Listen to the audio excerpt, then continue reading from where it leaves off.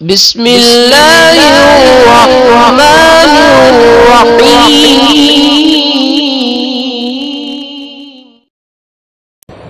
بسم اللہ الرحمن الرحیم السلام علیکم ورحمۃ اللہ وبرکاتہ بات کریں گے آج ذوالحج شریف کے جمعۃ المبارک کے مجرب اور باکمال وظیفہ کے حوالہ سے ذوالحج شریف کے جمعۃ المبارک میں ایسا کون سا وظیفہ ہے کہ جس کے کرنے سے خالق کائنات ہر قسم کی مشکل آسان فرما دیتا ہے؟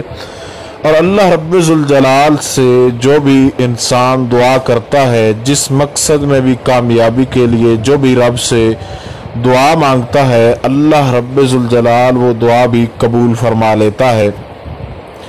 اور جو احباب اس وظیفہ کو کسی خاص مقصد کے لیے مطلب محبت یا کسی اپنے دوست جو نقے ناراض ہیں، ان کے لیے کرنا چاہتے ہیں، تو ان کے لیے بھی اس وظیفہ کو کیا جا سکتا ہے۔ اور اس وظیفہ کی اجازت عام ہے، ہر کوئی اس وظیفہ کو کر سکتا ہے۔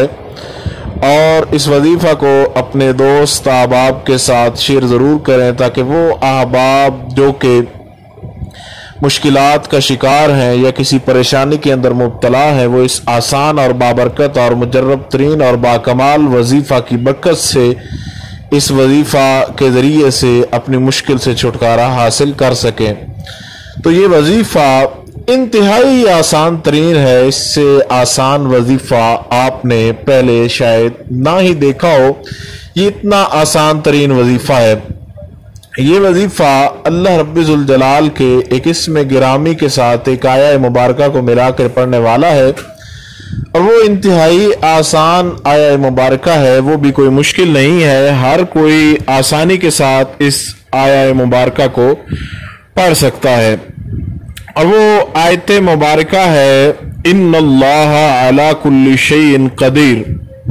ان اللہ علی کل شیء قدیر۔ ان اللہ علی کل شیء قدیر یہ آپ نے جو ہے ان اللہ علی کل شیء قدیر گیارہ مرتبہ آپ نے اس کو پڑھنا ہے، اس آیہ مبارکہ کو۔ پھر آپ نے تین مرتبہ اللہ رب الجلال کے دو نام ہیں، ان کو اکٹھا کر کے پڑھنا ہے۔ الرحمن الرحیم الرحمن الرحیم الرحمن الرحیم ان کو تین مرتبہ پڑھنے کے بعد پھر آپ نے گیارہ مرتبہ جو ہے اللہ رب الجلال کے کلام پاک سے اس آیت مبارکہ کو آپ نے پھر تلاوت کرنا ہے۔ ان اللہ علی کل شیء قدیر۔ ان اللہ علی کل شیء قدیر۔ ان اللہ علی کل شیء قدیر۔ اس کو آپ نے گیارہ مرتبہ تلاوت کرنے کے بعد پھر رب الجلال کے جو اسماء گرامی ہیں، اسماء صفاتیہ میں سے ان کو آپ نے پڑھنا ہے۔ الرحمن الرحیم نون کے اوپر پیش پڑھنی ہے۔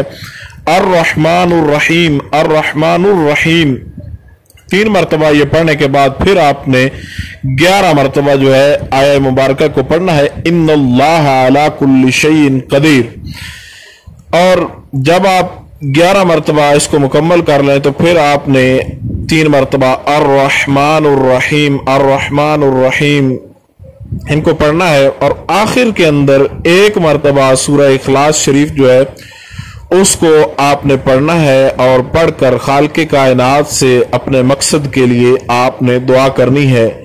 دنیا کے اندر جو بھی آپ کا جتنا بھی بڑا مقصد ہوگا، جتنی بھی بڑی آپ نے حاجت کے لیے دعا کی ہوگی، خالق کائنات آپ کی دعا قبول فرمائے گا اور ہماری دعا ہے آپ کے لیے کہ اللہ رب الجلال آپ کی دعا قبول فرمائے۔ تو اب ان لوگوں کے لیے جن کو اردو کی سمجھ نہیں آتی، جو اردو سمجھنے سے قاصر ہیں، ان کو طریقہ کار مکمل طور پر انگلش کے اندر بتایا جا رہا ہے۔